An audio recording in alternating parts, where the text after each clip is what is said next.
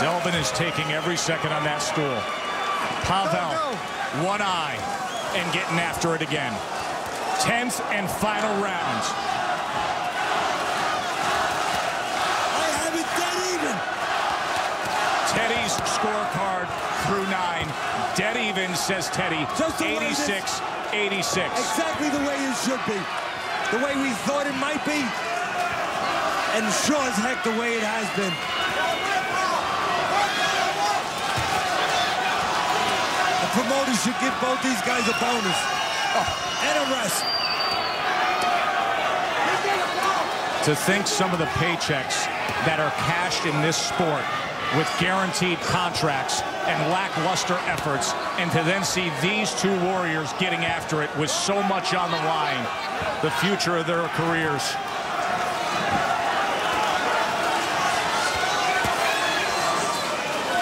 You know, usually Rodriguez gets, here's a funny thing, usually he gets hit with right hands. He stands on the outside, he throws a jab, little's too straight up, and he gets hit with right hands. With a pressure guy like this, you figure it would be maybe the same thing. But it actually helped him because he couldn't stand on the outside and stand up. He had to be on the inside and slip a little bit. He had to get small a little bit. You know, he had to crouch a little bit. So really, in some ways, fighting an aggressive guy, you thought it would be a bad guy.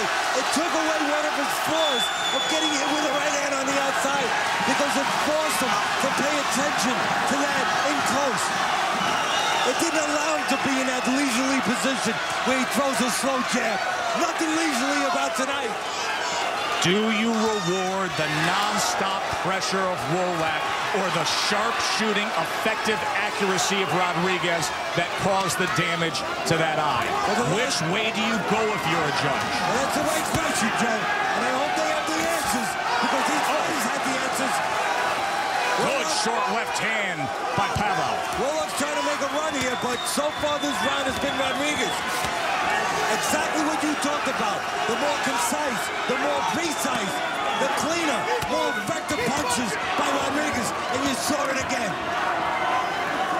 He doesn't just get lucky in there. He creates room, Rodriguez, then he gets off. He doesn't just throw. If he just threw, there'd be no room. He waits for the right spot, gets a little room, then he throws. The time count clap is going to come. And when it does, expect an eruption. Well, so far, if it comes down to this round, I'm going to tell you, it's Rodriguez. It's Rodriguez. He landed the cleanup. Look at this. Rodriguez landing well in the final moments. Pawel comes on. They trade to the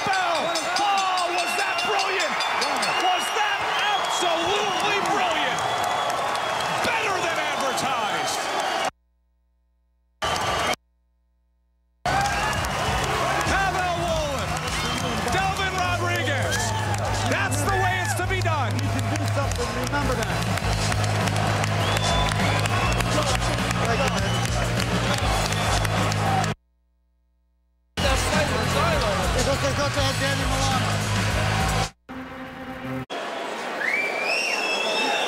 Welcome back to New York. A main event that delivered everything it was supposed to and more. A look back at Pawel Wolak, Delvin Rodriguez. Wolak, number eight in the world, bringing pressure all night long. Rodriguez, sharpshooting, combinations, and right hands. The swelling started in round number four around the right eye of Wolak, and it would continue to worsen. Going to extremes in round number seven. Time and time again, referee Steve Smoger checked with the doctors. The ringside physician said he fights on. And boy, Teddy did he. They sure did. They both did. And you know what? The rounds that were obvious were obvious for Rodriguez. Like these late rounds where he got a little room and he scored the harder, clearer punches. I'm not worried about those rounds. I'm worried about the rounds early on that were not as obvious. That the judges were able to use their talent and see who won those rounds. Punch of the Night's brought to you by Just for Men Hair Color, the ninth round uppercut. Watch this. There it is, getting in the mix of that combination. Nice right uppercut. The left hook was not with it. Hopefully, Rodriguez doesn't say, I wish I had that left hook back. Well, remember what Rodriguez has said. You work your butt off. You give a good performance. You know you won the fight. You don't get the decision. I don't know that he won this fight. But once again, it's one of these Delvin Rodriguez fights that comes down to this. Teddy, your scorecard. Well, you're going to see it right there. One point lead for Rodriguez. Now, you see in that fifth round, it was an even round. That round could have went either way. It could have went to Wolak. If it goes to Wolak, then it's a draw. For the official decision, we send it up to the ring to David Diamante. Ladies and gentlemen, let's hear it out there for both of these warriors.